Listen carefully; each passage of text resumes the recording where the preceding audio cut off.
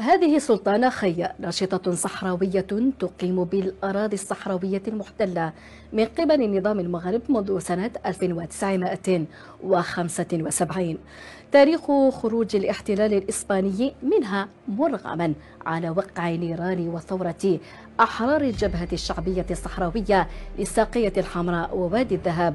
المعروفة بالبوليزاريو عائلة سلطان خيا نموذج. عما تتعرض إليه العائلات الصحراوية المتواجدة في الجزء المحتل من قبل النظام المغربي. تتعرض للتعذيب والاعتقالات وحتى المحاكمات الجائرة التي طالت حتى الأطفال القصر. تتواجد الناشطة الحقوقية سلطان خيا تحت الحصار والإقامة الجبرية منذ نوفمبر 2020 أي أكثر من سنة. وهذه العائلة الصحراوية الرافضة للاحتلال المغربي تواجه القمع والاعتداءات الوحشية الموثقة بالصوت والصورة. يكفيك أن تضغط بكبس زر حتى تظهر لك الشبكة العنكبوتية.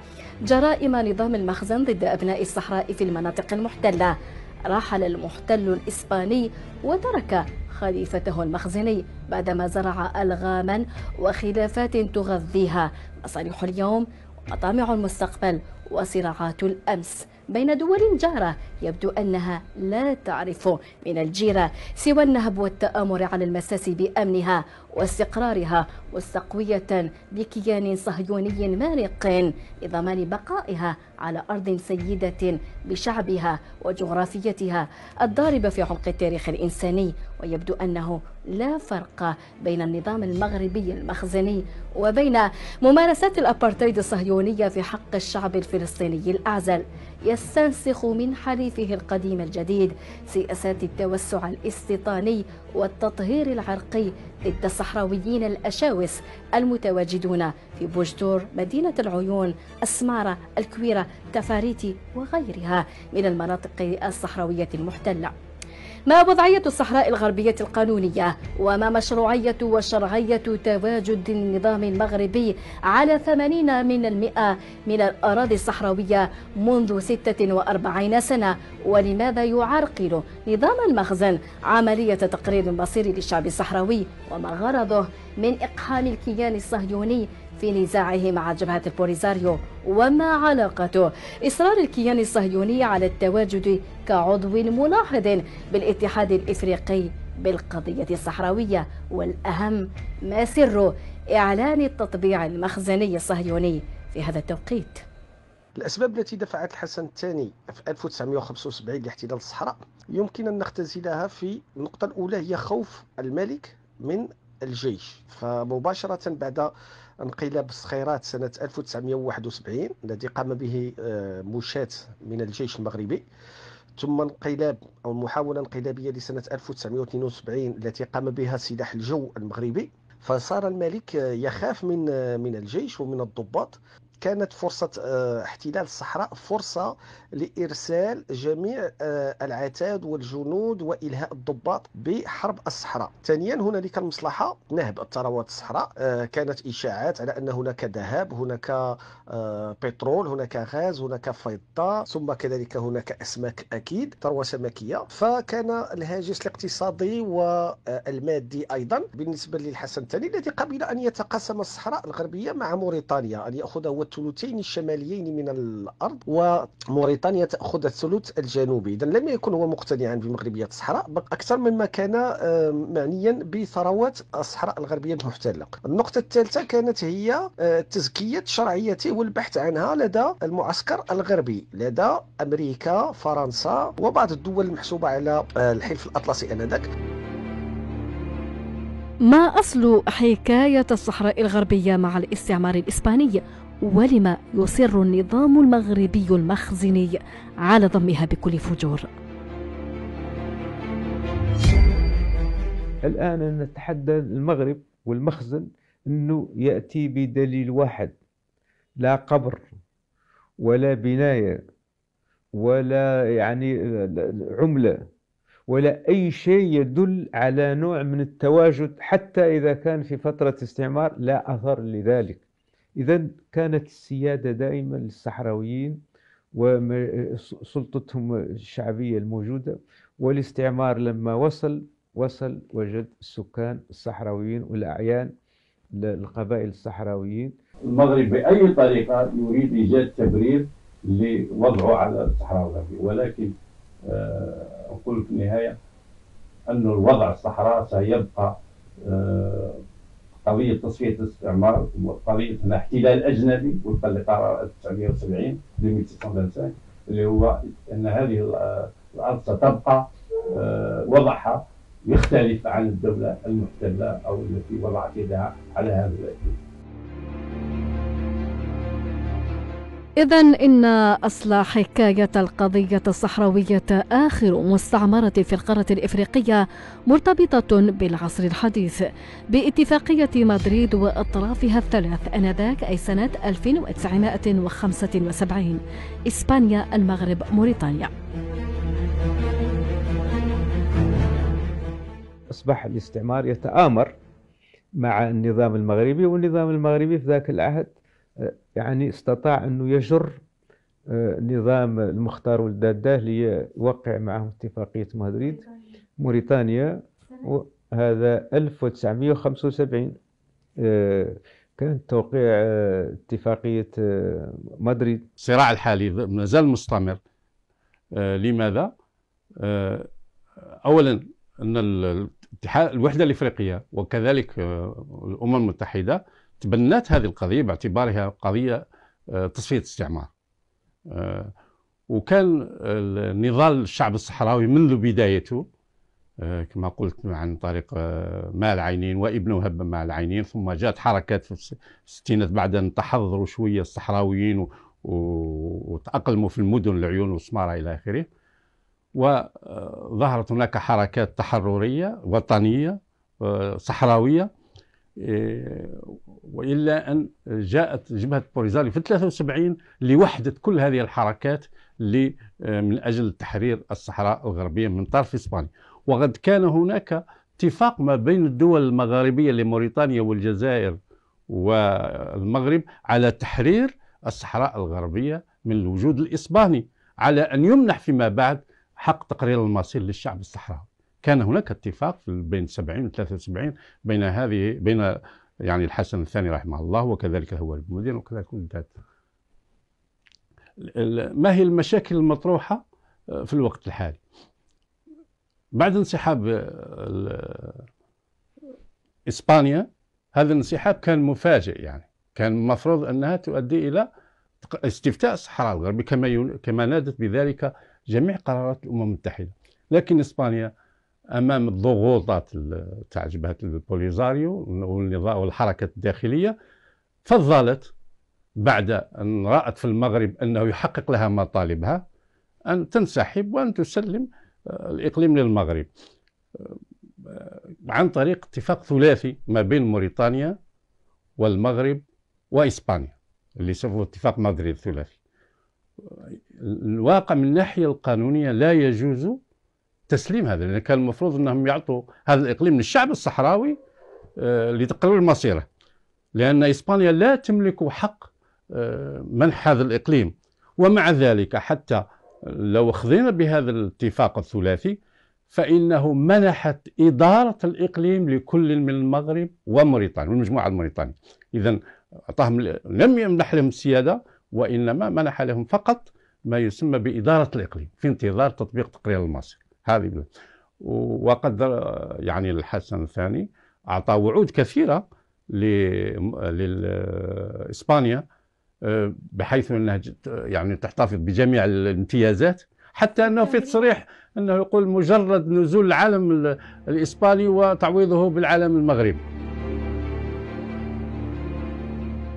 بلغة الحقائق والتاريخ فإن النظام المغربي انقلب على عاقبيه فبعدما كان يوافق الطرح الجزائري المرافعة لسيادة الشعب الصحراوي على أراضيه وحقه في تقرير مصيره أثناء الاحتلال الإسباني أصبح يروج لأطروحة كاذبة ومضللة مفادها أن الصحراء الغربية جزء من وحدته الترابية أسطوانة تكذبها جميع المواثيق والقرارات الأممية.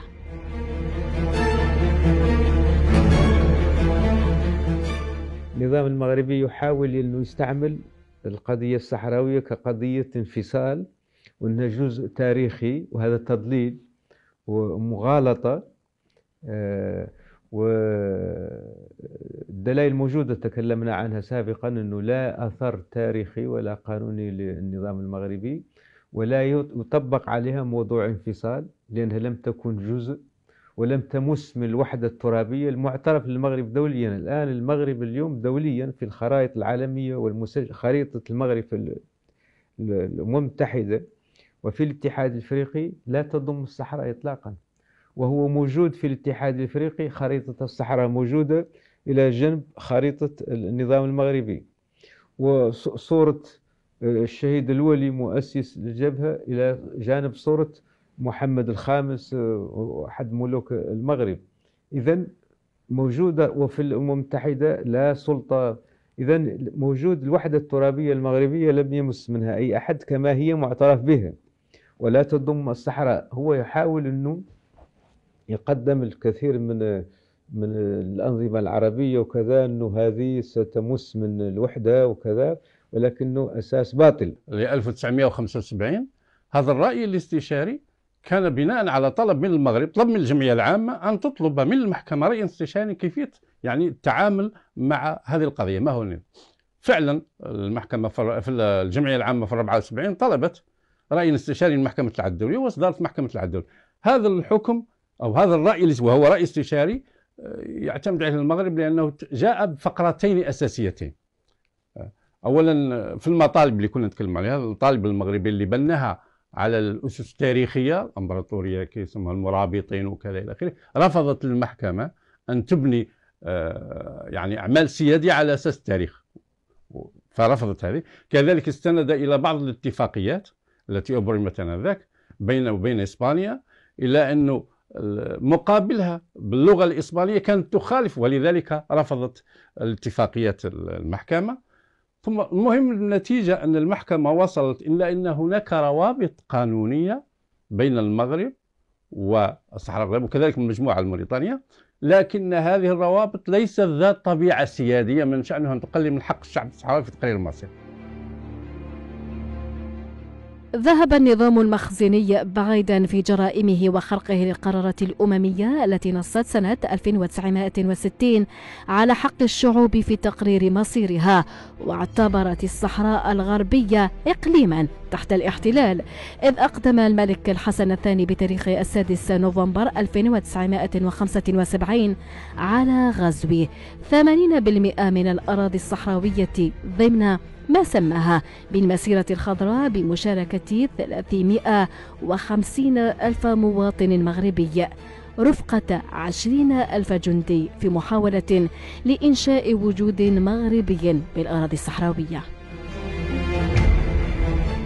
المسيرة السوداء إحنا نقولها المسيرة السوداء ما هيش المسيرة الخضراء ليس إحنا هي مسيرة سوداء لأنه كان يقول لهم إذا وجدتم آه، الإسبان فعانقوهم فهم أصدقاؤكم وإذا وجدتم الصحراويون فقاتلوهم. إذا هذه هي الرسالة اللي قدم آه، يعني النظام المخزني للحسن الثاني. يعني هذا هو اللي هذه التوجيهات. يعني أمير المؤمنين يعني معانقة الإسبان وتقديم لهم ما يحتاجون ومقاتلة آه، الصحراويين. هذه هي هذه هي وبالتالي كانت البداية المفضوحة آه، وهي في ظاهرها مدنيين ولكن الغالبية الساحقة وإلى ما نقول الكل هم عسكريين آه، يعني آه، للتدخل لمقاتلة الصحراويين في حال تعرضوا للهجومات أو شيء من هذا من هذا القبيل. هي ما سماها المسيرة الخضراء في ال 75 يعني هجر كثير من وكان من ضمنهم يعني إذا وجدتم الإسباني حيوه إذا وجدتم أي آخر فإن جيشكم معكم. يعني معناها يهدد في الجزائر. المهم آه، يعني الآن توطنوا المغاربة كثير في الصحراء المدن هذه المعروفة يعني العيون والدخلة وإلى آخره. ففي هذه المسيرة باش يغطي يعني كأنه ضم آه، متعمد يعني للصحراء الغربية. لكن هذا بالنسبة للقانون الدولي آه، لا يعطيه الحق. والصحراويين حتى ولم همشهم على أرضهم هذا لا يمنعهم من حقهم في تقرير مصيرهم. عندما وقعت إسبانيا قبل جلائها من الصحراء الغربية اتفاقية مدريد مع كل من المغرب وموريتانيا والتي اقتسم بموجبها البلدان الجهران. جارتهم الصحراء دخلت الجبهة الشعبية لتحرير الساقية الحمراء ووادي الذهب البوليزاريو التي تأسست في العشرين ماي 1973 في نزاع مسلح مع كل من موريتانيا والمغرب. كلل هذا الكفاح المسلح الرامي إلى تحرير الصحراء الغربية وإقامة دولتها وعاصمتها العيون المحتلة بانسحاب موريتانيا من الصراع بعد توقيعها معاهدة السلام مع البوليزاريو سنة 1979 استمرت الحرب ضد قوات المخزن حتى سنة 1991 بعد تدخل هيئة الأمم المتحدة وعقد اتفاق وقف إطلاق النار في سبتمبر 1991 إذا الأرض واسعة أرض غنية هو قسمها بالأحزمة الدفاعية آه، يعني يفصل بين الشرق والغرب. هكذا تم وقف إطلاق النار في هذا الوضع. يعني لأنه لما عجز عن حماية آه، المدن والقرى أصبح يلجأ إلى طرق الأحزمة الدفاعية. حتى الخبراء الصهاينة هم اللي مدوه بالخبرات وبناء الأحزمة هذه آه، حتى يمنع آه، تسلل يعني المقاتلين إلى ما وراء الحزام. ولكن حتى هذا التجربة لم تمنعه لأنه وقع اتفاق وقف إطلاق النار في ظل بناء الأحزمة نفسها لأنهم المقاتلين كانوا كل مرة يتجاوزونها بهجمات وكانوا يعتقلون الجنود المغاربة من وراءها والغنائم والدلائل موجودة يعني أعداد الأسرى اللي كانت والغنائم اللي موجودة. هذا في ظل هذا الوضع نفسه هو يعني استسلم الأمر الواقع وقرر آه، توقيع اتفاقية السلام. فمن ضمن المغرب يقول أنا عندي ربعين ألف لاجئ آه. آه. الجزائر قالت عندي سبعة آلاف لاجئ موريتانيا قالت ما عنديش لاجئين عندي صحراوي كانت أذكى من المغرب لأنه له هم مغاربة هذو هو كيف تقول لاجئين؟ على الاقل قول نازح على الأقل وقال لاجئ وهذا دليل على أنه ماهوش هو صاحب الأرض ثم أن المن... هذه لجنة تقصي الحقائق قالت ان إنها وجدت آه، يعني كثير داخل وفي كل مكان تمر فيه إن إن فيه آه، تعبئة لجبهة البوليزاريو. بمعنى أنه فيه آه، قبول بهذه الجبهة واعتراف بها من طرف الشعب الصحراوي في كل مكان مرت به لجنة تقصي الحق. اذا فهذه الحركة لجنة بوليزاريو أو حركة بوليزاريو هي حركة شرعية مستندة إلى الشعب الصحراوي بذاته واستعملت السلاح سابقا ثم الوقف القتال بعد ذلك رجعت الآن إلى استعمال القوة وهذا من حقها عندما يكون هناك تماطل عن تطبيق حق الشعب الصحراوي في تقرير المصير. وفي الحقيقة فهو إلا يعني هذا الحق هو موجود الآن بالنسبة للصحراويين. لماذا؟ لأنهم ناضلوا وكونوا جمهوريتهم معناهم أعلنوا رغبتهم عن استقلالهم. وبالتالي حتى لما نريد نطبق تقرير المصير آه، القصد به من ذلك آه، هو فقط للرأي العام. تعاقب عدة ممثلين خاصين للأمين العام للأمم المتحدة على رئاسة البعثة المنظمة للاستفتاء بالصحراء الغربية المينورسو التي تسعى لإنجاح الجهود الأممية الرامية لحل سياسي لهذا النزاع الشائك والقائم منذ عام 1975 وذلك بإيجاد صيغة توافقية نهائية بشأن وضعية الحكم في المنطقة لكن النظام المخزني المتوارث يتماطل ويعرقل. فما خلفية هذا الموال؟ واضح أن النظام المغربي ما يهمه الثروات الموجودة في تلك الأراضي. لا يهمه لا السكان ولا هم يحزنون. ويهمه أنه يكون تواصل مع آه، الدول الإفريقية بدافع من القوى الاستعمارية الفرنسية. هذا هو ما يهمه. بالفعل هذه هي الصحراء من آه، أغنى آه، يعني المناطق في السمك يعني بحارها وشواطئها.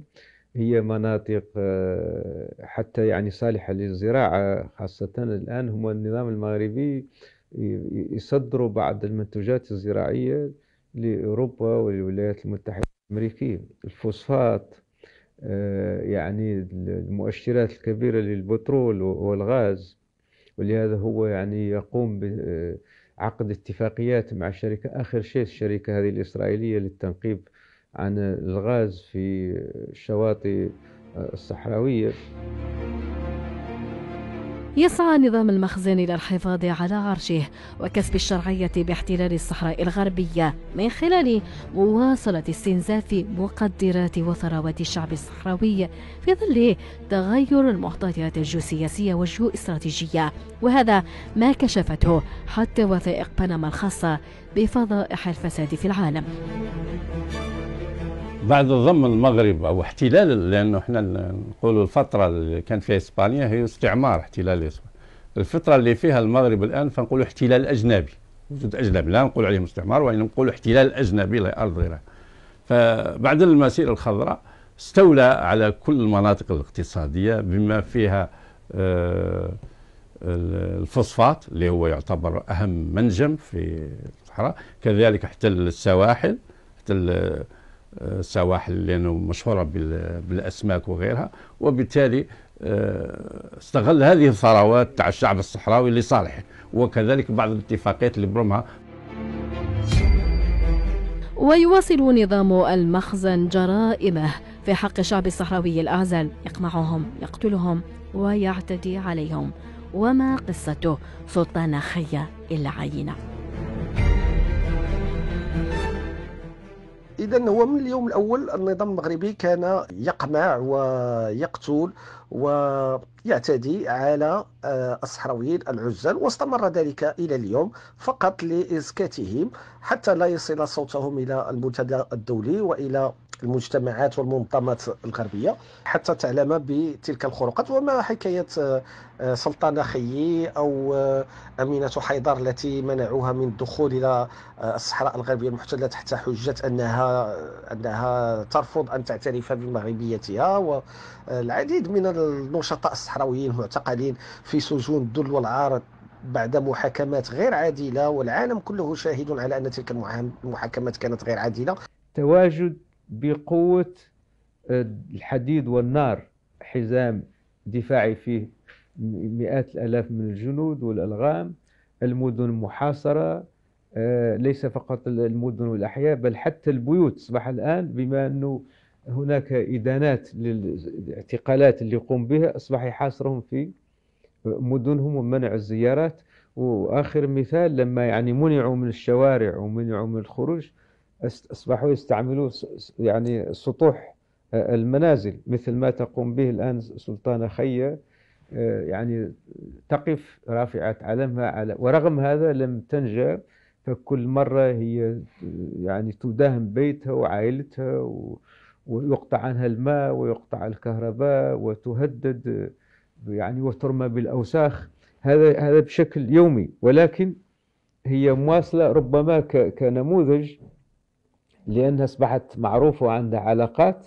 إذا كل مرة هذا يعني يخيف النظام المغربي اللي يحاول يعني يلمع صورته بشكل من الأشكال. ولكن هذه هذا رفض موجود وقائم ومتواصل. وهذه نماذج من فيديوهات تكشف وحشية نظام مخزني يستقوي على نساء ضعيفات ولم يسلم حتى الأطفال الصحراويين من بطشه وعدوانه. يستعرض وحشيته. يسحل يعنف. جرائم دولية كاملة الأركان فحتى الجهاز القضائي متواطئ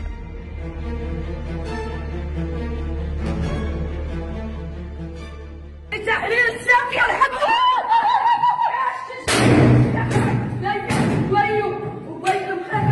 الحمد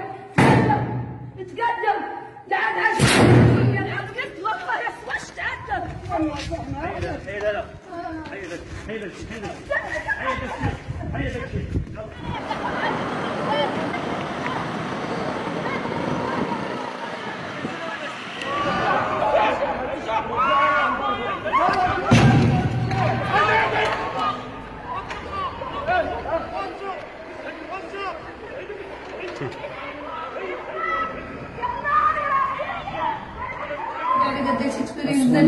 حسبنا الله ونعم الوكيل. حسبنا الله ونعم الوكيل. الانبطاح وتسليم الذات للكيان الصهيوني آخر خزعبلات النظام المخزني الذي يسعى إلى تزكية شرعيته والبحث عنها ومرتزقة اليوم. طبيعة الحال ردة الشعب الصحراوي هو الكفاح المسلح وهذا سيتواصل مع الأسف إذا عدنا إلى المربع الأول الذي كان يطبع سلوك الملك الحسن الثاني الذي قال في البداية أن قضية الصحراء الغربية قضية داخلية وملف مطوي وانتهى الأمر. ولكن بعد تلقيه لضربات جيش التحرير الشعبي والهزائم التي تكبدها أصبح يقول أنه نظرا لنصيحة الأصدقاء فهو يقبل باستفتاء تقرير المصير. وأنه سيكون أول من يعترف بالدولة الصحراوية ويفتح سفارة إذا ما اختار الصحراويون الاستقلال.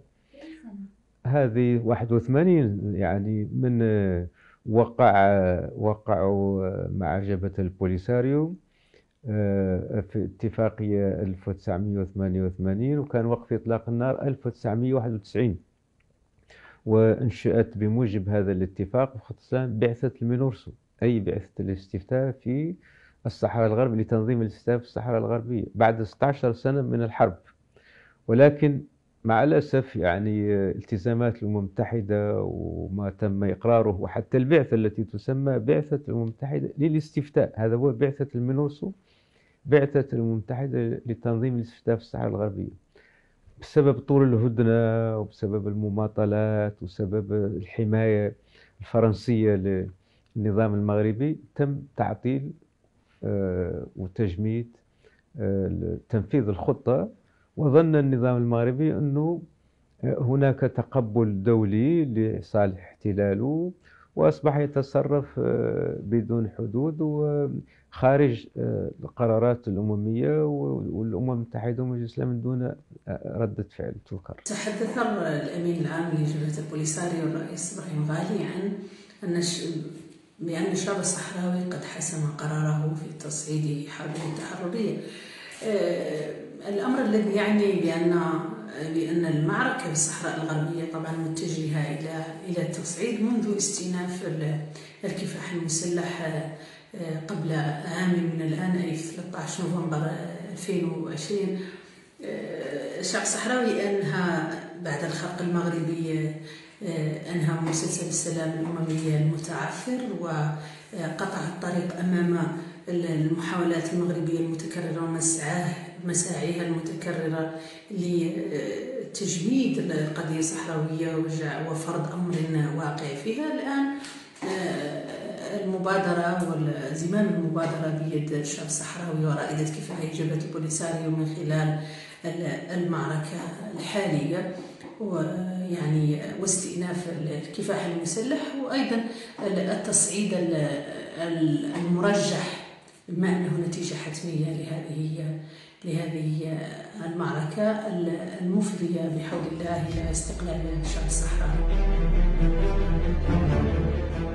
مواقف مخزية طبعت خرجات نظام المخزن بتودده وتطبيعه مع الكيان الصهيوني في خطوة يراهن عليها لإحكام قبضته على الصحراء الغربية فهل سيخدم هذا الكيان أجندة المغرب الاستيطانية؟ لا يمكن أن يقارنوا قضيتهم بقضية المغرب لأنهم يعلمون أنهم لو قارنوها فسوف يرى سوف. تتم رؤيتهم وكأنهم لا حق لهم في تلك الأراضي علما أن لهم الحق في أراضي ما قبل 67 أنا كنظن أن إسرائيل لن تقع في هذا في هذا الخطأ وهي دولة تجارية. إذا وجدت من يشتري الأسلحة ويشتري التكنولوجيا فسوف تبيعها له بملايير الدولارات. والمغرب يريد أن يشتري تلك الأسلحة حسب قوله دفاعا عن نفسه. آه، بالطبع إسرائيل آه، لن تقول له لا وسوف تبيع لنا هذه مصالح مصالح دول. التطبيع المغربي آه، الاسرائيلي الذي طبعته السريه لسنوات عديدة وخرج للعلن تعتبر القضية الصحراوية والحرب الدائرة الرحاها في الصحراء الغربية أحد أسباب هذه هذا الإعلان أو إعلان التطبيع المغربي الإسرائيلي. لا شك بأن آه، اتفاق الدفاع المشترك ما بين الاحتلال الإسرائيلي والاحتلال المغربي انتحار مغربي انتحار سياسي كبير لأن المغرب إلى عهد قريب كانت تحكمه حكومة إسلامية تدعي الدفاع عن الشعب الفلسطيني وقضيته ضمن أهم أولوياتها. أيضا يعتبر ملك المغرب آه، رئيس لجنة القدس وبالتالي هذا تناقض فج وكبير بالإضافة إلى أن الشعب المغربي في طوائف عدة منه يرفض يرفض هذا هذا التطوير وبالتالي بالتالي لا شك أن الأزمة التي خلقتها جبهة البوليساريو للمغرب بعد استئنافها للكفاح المسلح دفعته آه، للتطبيع مع قاتل الشعب الفلسطيني ومشرد الشعب الفلسطيني ومحتل دولة دولة فلسطين. وبالتالي آه، هو احتلال آه، يؤازر أو يدعم نظيره الاحتلال الإسرائيلي إخراج النظام المغربي المخزني لتقاربه مع الكيان الصهيوني للعالم بعدما كان لعقود سريا وسعيه إلى إدخاله. إلى الاتحاد الإفريقي من بوابة عضو ملاحظ تفاصيل خطة يحبكها محمد السادس وحاشيته لمواجهة مخاوف تحرير جبهة البوليزاريو للأراضي الصحراوية وبالتالي إطلاق رصاصة الرحمة على عرش النظام المخزني. بالنسبة للجمهورية العربية الصحراويه في أمام عدم الاعتراف المغرب وتطبيقاته اعلن الجمهورية على استقلال بين الشعب الصحراوي أعلن على جمهوريته وهذه الجمهورية معترف وهي الآن آه، دولة أو عضو مؤسس في الاتحاد الإفريقي. آه، هنا نقطة وجود إسرائيل أو كمراقب في الاتحاد الإفريقي هدفه هو الضغط على الدول الإفريقية حتى آه، تقوم بسحب الاعتراف بالجمهورية الصحراوية من الاتحاد الإفريقي.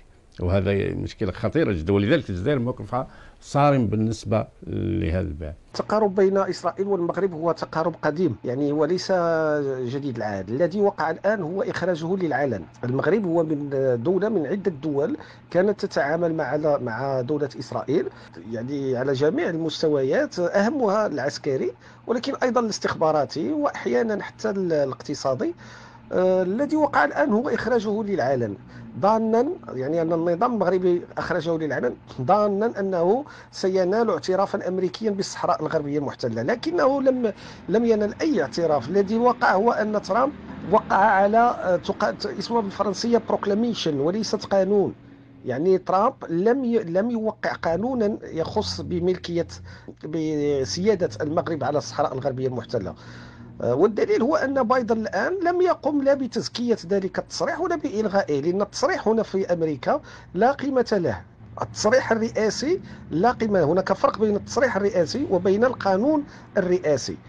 آه، ترامب لم يس... لم يوقع عن قانون رئاسي وقع فقط على تصريح. لذلك آه، لا قيمة له وليس باعتراف للأب... للولايات المتحدة الأمريكية كما يقول البعض يقولون أن أمريكا اعترفت. لا لا أبدا. أمريكا ستعترف لما يكون هنالك قانون صدر عن الرئيس أو عن مجلس الكونغرس.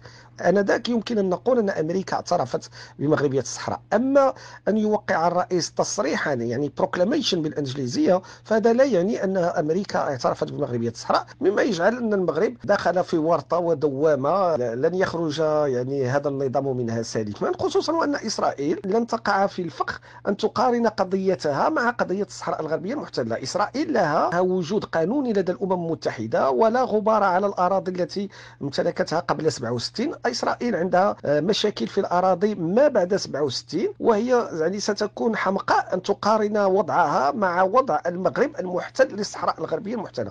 إسرائيل تحاول أن تجد حلا للفلسطينيين الذين آه، يسكنون خارج الأراضي أو الذين لهم وثائق تثبت أن ملكية الأراضي لهم. فهي تحاول أن تعالج ذلك المشكل بالتراضي أو بأي طريقة أخرى لكنها لن فلن يقارنوا قضيتهم بقضية المغرب. المجاهرة بالعداء للجزائر والسماح لممثل الكيان الصهيوني بتهديد جارته. من أراضيه سابقة خطيرة لم يعرفها التاريخ العربي تنم عن عقدته من تاريخ ومنظومة قيم النظام الجزائري. الداعم والمساند لحق الشعوب في تقرير مصيرها كيف لا والتاريخ الصحراوي قد وثق المواقف المشرفة للجزائر في دعمها كما دعمت فلسطين وما زالت وقبلها نيلسون مانديلا وغيرها من قضايا عادلة. الجزائر من الدول القليلة التي ينص دستورها على دعم حق الشعوب في تقرير المصير وهذا فخر للجزائر وللجزائريات والجزائريين. النظام المغربي نظام شمولي ديكتاتوري لا يمكنه أن يقبل أن يكون جارا له له من القيم ما, ما للجزائر من القيم ومن التاريخ. دولة الجزائر هي عقدة للنظام القائم بالمغرب. هنا أشير إلى عقدة إلى النظام وليس للشعب المغربي علما أن الشعب المغربي له أزيد من 300 ألف وقيل 500 ألف مغربي يعيشون يعيشون بالجزائر. يعني هما فارين من من الفقر ومن الجوع ومن الاضطهاد يفرون إلى الجزائر. كما يفر البعض إلى فرنسا وإسبانيا وأمريكا وكندا فهنالك من من لم يجد سبيلا إلى تلك الدول. الجزائر ما قامت به هو تنفيذ لتوصية الأمم المتحدة في دعم الشعوب المستعمرة وتقديم لها الإسناد. هناك قرار للجمعية العامة المتحدة ليسمى برنامج تنفيذي لتفعيل قرار 1514 تطالب فيه تعتبر الاستعمار جريمة ضد الإنسانية وتطالب بلدان العالم كلها أنها تقف إلى جانب الشعوب المستعمرة وتقدم لها الدعم الاقتصادي وال الإعلامي والشرعي وفي كل مجالات وتعترف بشرعية مقاومة الشعوب المستعمرة. وتطالب كل بلدان العالم أن تمتنع عن دعم المستعمر. تمتنع عن دعم المستعمر لأنه دعمه يعتبر جريمة ضد الإنسانية إذا الجزائر ما تقوم به هو تطبيق لقرار الأمم المتحدة الصادر من أجل تنفيذ قرار 1514 هي يعني وتدعم الشرعية الدولية ومع القرارات الأممية وهذا قرارات عالمية للمعمورة كلها. وبالتالي تستحق الشكر والإشادة بمواقفها مع الشعب الصحراوي مثل ما وقفت مع الشعوب كلها مثل ما سموا الجزائر مكة الثوار وقلعة الأحرار. هو موقف يمشي مع المبادئ الثورية نتاعها أنها تساند حركات الشعوب. وقد ساندت كثير في أفريقيا أنغولا جنوب أفريقيا حتى يعني المهم كل المناطق ساندت الجزائر حتى أنه كافرال يقول عليها أنها كعبة الثوار. يعني فعلا أن الجزائر هي آه، من ضمن مبادئها هي تصفية محاربة الاستعمار أي مكان. ولذلك الجزائر ظلت محل غضب من الدول الغربية من الدول الاستعمارية لأنها هي اللي ناضلت ودعمت حركات التحرر وكثير من المعارضات لحركة التحرر كانت موجودة في الجزائر. فإذا موقفها عادي وبالتالي لما ظهر هي في الديبي لم تساند الحركات اللي كانت موجودة في الصحراء الغربية لما وأنا لأنهم يقول لك كانت إسبانيا. تحاربنا والمغرب يحاربنا والجزائر تغلق في وجهنا الحدود. لماذا تغلق؟ لأن هذه الحركات ما كانش ظاهرة. وضع إيديولوجيتها واضحة. لما ظهرت البوليزاريو إيديولوجيتها الاشتراكية كذا تبنتها الجزائر لأنها كانت عامة وشاملة هذه الحركة فبالتالي دعمتها. مثل ما دعمتها كوبا ودعمتها آه، ليبيا آنذاك إلى آخره، اذا فهي في اطار المسار تاعها اللي هي مساندة حركات التحرر لوصولها إلى الاستقلال ومحاربة وأولى بها ان تساند. وهي وأثناء وجود يعني الإسبان يعني مع هذا النضال آه، واللي حرك اللي جبهة بوليزاريو كانت أثناء وجود الاسباني يعني ماهوش الآن كالمغرب اللي يسميها الآن حركة إرهابية إلى آخره. في السابق كانوا كلهم يساندوا آه، تحرر آه، الشعب الصحراوي. إذا النظام المخزني لم يكن مقتنعا بمغربية الصحراء أكثر مما كان معنيا بثرواتها وفي ظل تقاعس الأمم المتحدة وغيرها من المنظمات الدولية عن تحمل مسؤولياتها تجاه تصفية الاستعمار بآخر مستعمرة بالقارة الإفريقية فإن منظمة البوليزاريو عازمة على المضي في كفاحها حتى تحقيق استقلال الصحراء الغربية في انتظار حلقات مسلسل التطبيع والهرولة المغربية الصهيونية.